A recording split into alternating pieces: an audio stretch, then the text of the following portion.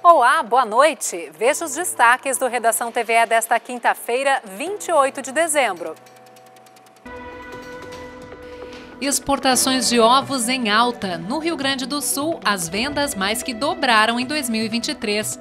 Descontos para o pagamento antecipado do IPTU 2024 de Porto Alegre começam em 2 de janeiro.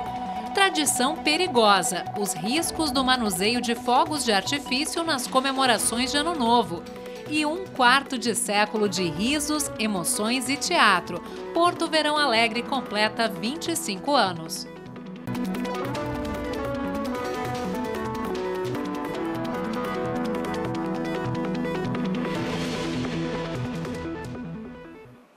Um produto competitivo no mercado internacional. O ovo é uma fonte rica em proteína e tem se tornado uma escolha popular para dietas saudáveis e equilibradas no mundo todo. Aqui no Brasil, as exportações de ovos dispararam em 2023 e o Rio Grande do Sul é o segundo estado nesse ranking de vendas, atrás apenas de Minas Gerais. O consumo de alimentos tem, desse alimento tem conquistado mais espaço também no paladar dos brasileiros. Seu Celso Vila vende ovos para pequenos comerciantes há mais de 35 anos. O ovo evoluiu muito dos anos para cá, né? E ele se presta para muitas coisas como é de costume. E é um alimento saudável. O principal é isso, que é um bom alimento, um alimento muito saudável. Ele faz parte de um setor aquecido no estado. O Rio Grande do Sul registrou um aumento nas exportações de 2023, um crescimento de 130% na quantidade de produtos enviada a outros países até novembro, em comparação com o mesmo período do ano anterior. Japão, Taiwan e Chile são os principais destinos. No mês passado, o destaque também foi o estado, que superou em 65% a quantidade de ovos exportados em outubro. E o setor também, a nível eh, nacional, ele vem cada vez mais se tecnificando, granjas automatizadas, um controle rigoroso né, na produção das aves, na nutrição das aves, na sanidade. Né, então, tudo isso vem chamando a atenção do importador. Por quê? porque o mundo está sofrendo muitas adversidades. Uma delas é a influenza aviária, né, que nós não temos nos nossos plantéis comerciais no Brasil. Né, então, isso nos dá um status em condições de exportar para qualquer, qualquer destino uh, uh, uh, de vários continentes, vários países. Né, e também né, o que vem acontecendo no mundo em relação às crises. Né, a União Europeia, lá, Rússia Ucrânia, que inflaciona os alimentos, né, agora um pouco lá no Oriente Médio, né, também que vem se né, mexendo com o mercado internacional, e a própria influenza que dizimou plantéis de países potenciais produtores e concorrentes do Brasil. Crescimento nas exportações sem risco de escassez no mercado interno, já que o envio ao exterior representa 1% da produção no país. O consumo de ovos no Brasil tem mantido sua popularidade. O ovo já há algum tempo voltou a ser um dos queridinhos da gastronomia e esse novo comportamento do consumidor também pauta a produção e indústria. O mundo fitness hoje também uh, deu um boom, né, que nós chamamos, e consome muito, porque porque ali tem a, a albumina, né, que é rica em proteínas, é, é, é uma fonte de regeneração muscular, de, né, de, de saúde. Né? Temos ali a, a, condição de utilizar o ovo para várias receitas balanceadas. Né? Então, tudo isso vem modificando e também a própria gastronomia né, e alta culinária, né, que utiliza tanto para as receitas mais simples quanto as mais sofisticadas, atrelado a toda essa, essa desmistificação né, do alimento comprovada pela própria ciência. Apesar dos bons números do setor de ovos, a atividade agropecuária teve queda e puxou para baixo o PIB gaúcho, que encolheu 0,1% neste terceiro trimestre, na comparação com o trimestre anterior. Os índices do Produto Interno Bruto do Estado foram divulgados hoje pelo Departamento de Economia e Estatística. Em relação ao mesmo período do ano passado, a variação foi de 0,1% na economia gaúcha. A retração no campo chegou a 15,5%, impactando o resultado final do trimestre. Os outros setores tiveram crescimento. Na indústria, aumento de 1%, alavancado principalmente pelas atividades de eletricidade e gás, água e esgoto e limpeza urbana. Nos serviços, o aumento foi de 0,6%, baseado nas atividades do comércio. Já no Brasil, o PIB teve variação de 0,1% entre os trimestres e de 2% sobre o mesmo período de 2022. E agora a gente muda de assunto para falar do IPTU 2024. Aqui em Porto Alegre, o imposto pode ser pago com desconto a partir do dia 2 de janeiro. Os contribuintes têm até o dia 8 de fevereiro para aproveitar esse benefício. E vale lembrar que a conta não é mais enviada pelos Correios. Quem traz os detalhes em entrevista ao vivo aqui no estúdio é o superintendente da Receita Municipal, Christian Justin. Christian, muito obrigada pela sua presença aqui, antes de mais nada. E gostaria de começar lhe perguntando qual é o desconto máximo esse ano. É, nós temos, primeiro, boa noite, Dalva, boa noite ao público que nos assiste. O desconto máximo ele é de até 11% para aqueles contribuintes pessoas físicas e de 9% para os contribuintes pessoas jurídicas. Por que até esses valores? Porque todos os contribuintes têm um desconto de 5%, esse é o geral para todos, uh, o desconto pelo pagamento antecipado. As pessoas jurídicas que não possuírem dívidas no seu imóvel ganham mais 4% de desconto, totalizando até 9%. Já as pessoas físicas que não possuem dívida podem ter um desconto de mais 3% se não possuírem dívidas e de 1 a, de 0 a 3% de acordo com a quantidade de notas fiscais eletrônicas que elas tomaram de serviços. De 7 a 12 notas, 1%, de 12 a 24 notas, 2%, e para aqueles que tomaram mais de 25 notas, ou seja, mais de duas notas fiscais por mês, obtém um desconto de 3%, totalizando até 11% de desconto. Três benefícios cumulativos, então, que podem chegar a 11% para a pessoa física, 9% para a jurídica, né? Como é que é possível consultar o desconto que cada, que cada cidadão tem direito? Isso. O desconto ele pode ser consultado no site da Prefeitura, prefeitura.poa.br/iptu, lá também vai ser possível obter a guia. O que é importante a gente destacar? É o segundo ano do IPTU digital, as guias não são mais enviadas pelos Correios, então de que forma é possível obter essas guias?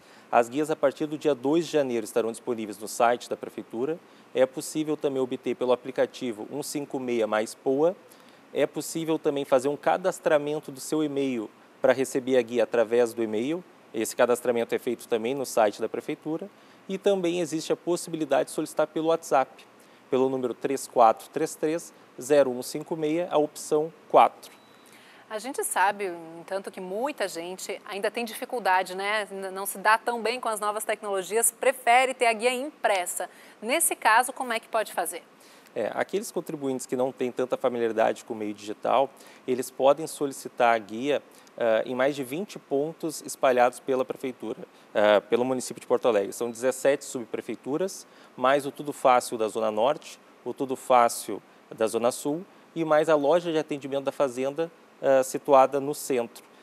o que, que a gente orienta? Sempre é importante buscar algum familiar, algum vizinho, alguém que possa obter a guia. Nós temos diversas formas facilitadas para essa obtenção, Caso precise obter a guia de forma presencial, procure eh, a unidade mais próxima da sua casa. Se alguém mora na Zona Sul, não tem necessidade de ir até o centro histórico, pode procurar a subprefeitura eh, mais próxima, pode procurar o Tudo Fácil da Zona Sul.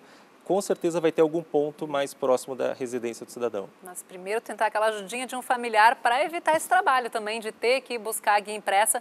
Inclusive, eu lembro de ter feito matéria ano passado com algumas filas, né? A fila era grande na espera por essa impressão do boleto. Ano passado foi uma novidade, muita gente também estava se adaptando.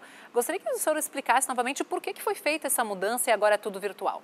Isso. Essa mudança, ela ocorreu principalmente por um motivo de que os recursos da cidade eles são escassos e, é, e a gente busca que eh, eh, esse recurso seja aplicado da melhor forma possível. Uh, os gastos com correios consumiam até 7 milhões de reais de forma anual para o município. E esse valor é um dinheiro que deixava ser utilizado para saúde, para educação, para pavimentação de ruas, para é, melhorar as nossas praças. Então, na verdade, está sendo feita uma economia de recursos para que possa ser prestado um serviço melhor para a população com esse dinheiro. Perfeito. Bom, para quem não uh, tiver em condições de fazer esse pagamento antecipado, aproveitando aí os descontos, quando é que começa o pagamento parcelado, como funciona? para aqueles contribuintes eh, que optarem por fazer um pagamento parcelado, a primeira parcela no dia 8 de março. Faz o pagamento da primeira parcela e o parcelamento vai para o dia 8 de março, 8 de abril, 8 de maio, até o mês de dezembro, 10 parcelas. Teve aumento o IPTU desse ano?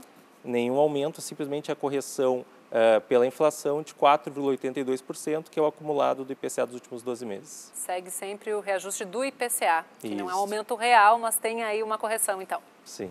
Tá certo. Muito obrigada, agradecer ao Christian Justin, superintendente da Receita Municipal aqui de Porto Alegre, pelos esclarecimentos sobre o IPTU 2024. Obrigada, até a próxima. Boa noite. Boa noite. E a gente faz agora um breve intervalo. Na volta tem a previsão do tempo e uma entrevista com o ator, diretor Zé Vitor Castiel sobre os 25 anos de cultura do Porto Verão Alegre. Voltamos em seguida.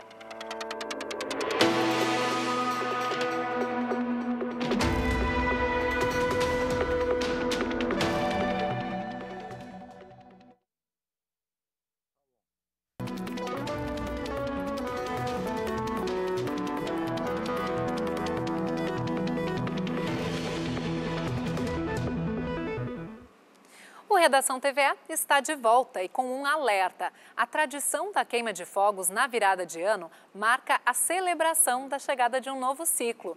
Mas é preciso tomar cuidado com os riscos dessa prática, para que a festa não acabe em tragédia. Os fogos de artifício que embelezam o céu e encantam os olhos podem oferecer perigo, principalmente ao serem manuseados sem a devida atenção. De acordo com o Ministério da Saúde, entre 2019 e 2022, o SUS registrou 1.548 internações por ferimentos causados pelo uso do artefato. Um acidente com fogos de artifício pode ocasionar diversos tipos de lesões, como lesão ocular, às vezes até perda da visão, amputação, principalmente lesões nas amputação de mãos, de dedos, lesões bem graves e as queimaduras propriamente ditas. Além do risco de lesões graves nos olhos com eventual perda da visão, cegueira, amputação de mãos, de dedos, a pessoa está exposta ao risco de queimaduras mais extensas que vão trazer os riscos, as complicações que as queimaduras mais extensas em 2021, a Câmara Municipal de Porto Alegre aprovou o projeto que proíbe a queima de fogos de artifício ruidosos na cidade. Quem descumpre corre o risco de sofrer penalizações e multas. Cada produto tem a sua característica específica de como manusear. Né? Então, tu tem efeitos de solo, que tu não tem que ter uma técnica muito aprimorada, é muito simples de pegar e manusear, tem todas as instruções nas caixas, né? Tem os produtos maiores que, que ele já vem dentro da caixa, tu não tira da caixa, são conjuntos de um, dois, três minutos, cinco minutos até. A preocupação que se tem é que tem produtos de uso interno e de uso externo. Os efeitos de uso externo, tu tem que ter a preocupação de não ter árvores em, sobre o local onde tu vai soltar, fios elétricos, né? Uh, basicamente são essas preocupações. E tem uma distância mínima que tá, todos os produtos têm, de acordo com seu tamanho, ele tem uma distância de segurança tá, que deve ser respeitada. Em comparação ao ano passado, o número de atendimentos causados por acidentes com fogos de artifício teve aumento no Hospital de Pronto Socorro de Porto Alegre. Já são 12 casos de queimaduras em decorrência do uso do artefato. Em 2022, apenas quatro acidentes do mesmo tipo foram registrados. A gente faz todo ano, quando é Natal, Ano Novo, que a gente vai para as festas de final de ano. E quem faz o manuseio é meu esposo e meu cunhado, que eles já são com um pouco mais de experiência, né? Aí as crianças gostam de estralar os estalinhos que eles pegam com a mão e vão atirando na calçada, mas os fogos mesmos que a gente gosta de atirar é só eles, os adultos. A gente fica um pouco distante, né? A gente fica na, na área da casa e assistindo. E é feito tudo, no, no, no, caso, na cerca, né? Como se fosse no potreiro, que a gente fica na colônia. E daí é atirado ali para o campo mesmo. Dados do Ministério da Saúde apontam que só neste ano, de janeiro a setembro, já foram 266 internações pelo mesmo motivo. A gente recomenda alguns cuidados, como nunca deixar a manipulação desses fogos de artifício, do rojão, aos cuidados de criança ou adolescente, de preferência né, o adulto que vá fazer essa manipulação, que vai manipular, que não tenha criança, criança próxima, né? mas a criança ou adolescente manipulando jamais. Esse adulto que vai ficar responsável por essa manipulação, que não esteja sob efeito de álcool né? ou outras substâncias, né? que ele esteja ali com os reflexos uh, bem preservados, isso é muito, isso é muito importante, e sempre disparar os fogos em direção contrária às pessoas. Então, até as pessoas que tiver, às vezes na beira da praia é comum as pessoas dispararem fogos, né, que as pessoas mesmo se afastem da direção de onde esses artefatos estão sendo manipulados e disparados. E chegou a hora de conferir a previsão do tempo. A instabilidade deve se espalhar pelo estado na última sexta-feira do ano e as temperaturas ficam mais amenas. Veja os detalhes no mapa.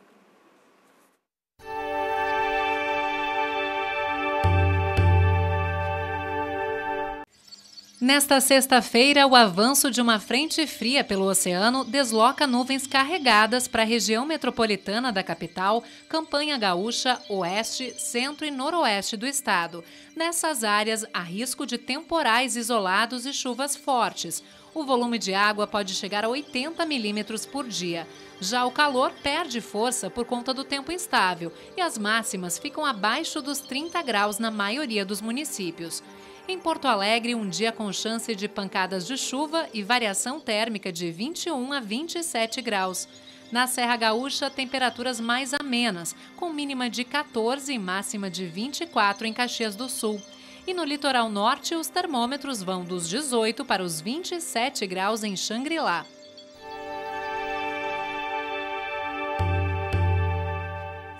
E hoje, 28 de dezembro, é celebrado o Dia Nacional do Guarda-Vida. Para marcar a data e homenagear o esforço desses profissionais, um evento tradicional reuniu na manhã desta quarta-feira bombeiros militares e civis para uma disputa na praia de Tramandaí. A competição é realizada desde 2009. Participantes de diversos balneários do litoral norte foram colocados à prova num percurso que envolve corrida na praia e nado no mar. A disputa, além de demonstrar as habilidades desses profissionais, também é uma forma de ajudar na integração entre os guarda-vidas. Mais de mil homens e mulheres atuam na orientação e no salvamento em praias do litoral e de águas doces. Desde o início da Operação Verão desta temporada, em 16 de dezembro, mais de uma centena de salvamentos já foram realizados. O Redação TVE agora abre espaço para cultura, porque já foi divulgada a programação do Porto Verão Alegre, festival multicultural que está completando 25 anos e é considerado um dos maiores da América Latina. Entre 10 de janeiro e 8 de fevereiro, cerca de 140 atrações vão ser apresentadas em 19 palcos da capital gaúcha, Canoas e Gravataí. Assunto para nossa entrevista com o ator, diretor e idealizador do Porto Verão Alegre, Zé Vitor Castiel. Zé Vitor, quais são as novidades desse ano? Programação ampliada, boa noite. Boa noite, olha, muito obrigado pelo espaço aí na, TVE. Programa tradicional, sem ele, eu acho que ele teria azar, não poderia fazer o Porto Verão Alegre. Coisa boa, vamos ajudar é, a divulgar. Eu, eu, é, é, verdade. Eu acho que a grande novidade do Porto Verão esse ano é uh, preservar é, a sua, digamos assim, a sua genética né? e ampliá-las no sentido de que uh, continue sendo um festival popular, acessível, uh, querido dos gaúchos, cultural, uh, inclusivo, que leve as pessoas para salas de espetáculo que não sejam só teatro, que, que curtam dança, música, literatura, artes plásticas, cinema, enfim, essa é grande novidade, é a, a perfeição que nós estamos tentando implantar, avaliando os nossos próprios erros, justamente nessa 25ª edição do festival, que nasceu por acaso, afinal. É, e faz, aproveitando para fazer uma retrospectiva desses 25 anos, um quarto de século aí de história, muita cultura, é, como é que surgiu né, o festival? Vocês queriam movimentar a cena cultural de Porto Alegre que ficava meio parada nesses meses de férias. E o que, que mudou desde então, desde 1999 até agora? É, na verdade, na verdade uh, uh, não é só, não se, não se supunha só que a cena cultural ficava parada. Se supunha que Porto Alegre inteira ficasse parada, porque as pessoas iam para a praia. Era uma coisa que se dizia. Quando foi, foi se verificar no, feriadão de 2 de novembro de 1999, eu ouvi no rádio, ou eu, o Beretta, não lembro bem, ouvimos no rádio que 200 mil pessoas iriam passar o feriadão de 2 de novembro na praia. Bom, vão ficar 1 milhão e 400 mil pessoas aqui, vamos colocar nossos espetáculos em cartaz. O Beretta já começou a reunir, já botar o, o espetáculo dele, que era o Vida Muda, o meu era o marido do Dr. Pompeu, aí já, já se juntou outras pessoas, a Débora Fimachiaro, é, outras pessoas e tal. Formamos seis espetáculos, pegamos um uma, uma, um ponto de venda antecipado, fizemos um factoide com a imprensa, colocamos o nome, né, Porto Verão Alegre, e a nossa surpresa foi que depois de quatro semanas tínhamos vendido 12 mil ingressos. E aí nos demos conta de que não é que não tinha ninguém em Porto Alegre. As pessoas estavam aqui no ventilador, no ar-condicionado, porque não tinha fazer na rua. Né? Os bares fechavam, os restaurantes fechavam, tudo fechado. Então, de uma certa maneira, o Porto Verão Alegre já passados esses 25 anos, foi, se não foi o, foi um grande do, responsável pela modificação da cidade de Porto Alegre. A cidade de Porto Alegre hoje em dia é uma cidade turística no verão, né? Porque e... o Porto Verão também ativou bares e restaurantes, transporte público-privado, rede hoteleira, rede de bares, enfim. E hoje... É esse orgulho nós temos. E hoje fomenta aí o mercado cultural como um todo também. É uma história que vocês estão contando, inclusive, em documentário, né? A gente vai mostrar alguns trechinhos do documentário. É, quando é que o público vai poder conferir tudo na íntegra e como vocês pensaram esse registro em vídeo? É, nós, nós, nós entramos, viu, Dalva, numa estratégia bem interessante, que é assim, é mostrar alguns, uh, alguns uh, pedaços do, pequenos do, do, do documentário agora e usá-los como, como propaganda mesmo, para a mídia. Né? Uh, depois nós faremos uma apresentação dele completo, ele ficou lindo, muito emocionante. Foi feito pelo Vitório Beretta e pela Giana. O Vitório, Vitório é filho do Rogério Beretta, né, do meu sócio. E, e, vamos fazer uma apresentação fechada para a imprensa e para as pessoas que participaram da confecção do filme para mantê-lo inédito, para poder inscrevê-lo na mostra de documentários do cinema internacional, do Festival de Cinema Internacional de Gramado. A gente está vendo aí algumas das pessoas que marcaram essa história de 25 anos, vimos imagens dos Homens de Perto também, peça da qual você participa aí, que, que também é um grande sucesso de público. Qual é o segredo da longe... É, 20 anos já. 20 anos, né? Fizemos em setembro, 20 anos. E falando um pouquinho mais da programação desse ano, Zé Vitor, tem 17 estreias, muitos gêneros uh, contemplados também, shows de música, dança, comédia, stand-up comedy, dramas, uh, vários temas, diversidade, espetáculos infantis. Gostaria que você comentasse um pouquinho do que, que o público vai poder conferir, então, no verão de Porto Alegre. Olha, é, é, é pelo número né, de, de espetáculos, assim, número de, de de espetáculos, a gente já fica sabendo da, da, da, grandiosidade que será esse ano, né? Vai gerar aí o que 300 apresentações em cinco semanas, né? Uh, mas é isso que você falou, é tudo, é tudo. É, é, dança, é música, é literatura, é artes plásticas, é cinema, é debates de psicanálise e o teatro, que é o carro-chefe, que está no DNA do Porto Verão com alguns espetáculos que vêm de fora. Né? A maioria é local, muito... a maioria dos espetáculos são locais, mas também tem participação locais. nacional é. e internacional, né? E, exatamente. Nós temos aí uns dois espetáculos internacionais, né? Temos, uh, acho que uns sete, oito espetáculos que vêm de Rio, São Paulo, Bahia, se não me engano, Minas Gerais, né? E, e, e, aí os tradicionais espetáculos do Rio Grande do Sul, muitos que estão com a gente há muitos anos, porque o gaúcho gosta muito de ver e rever e rever e rever os, os espetáculos que ele, que ele curte, né? E também é uma programação musical riquíssima. Esse ano vamos receber, entre outras pessoas, o Arnaldo Antunes, né? no Farol Santander, também no Farol Santander, Hermeto Pascoal, também Fernanda Takai, com um espetáculo lindo de literatura e música. Uh, a, a, a Nina Nikolaevski, enfim, é, vamos ter um, uh, musicais, vamos, enfim. 17 é, é, estreias.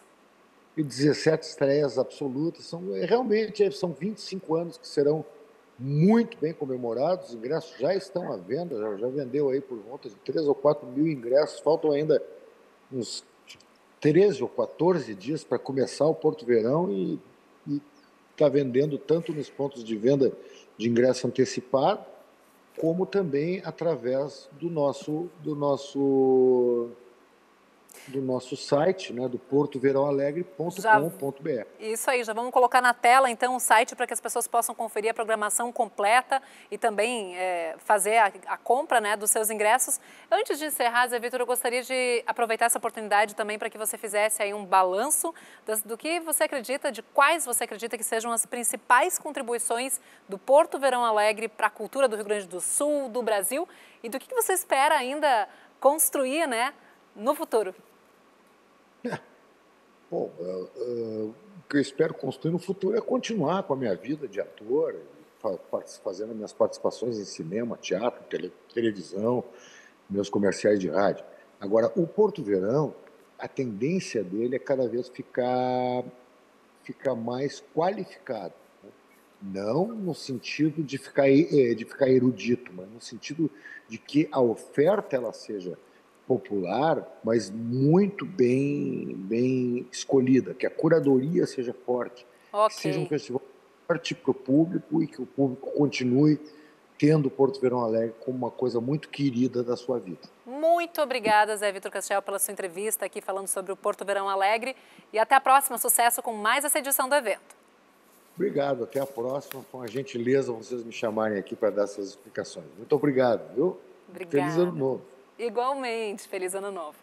Bom, e a gente encerra assim o Redação TVE de hoje ao som da banda Ale Ravanello Blues Combo. O grupo com mais de 10 anos de carreira se apresenta amanhã às 7 da noite no bar do Alexandre em Porto Alegre. Uma dica para quem ficar na capital neste fim de semana.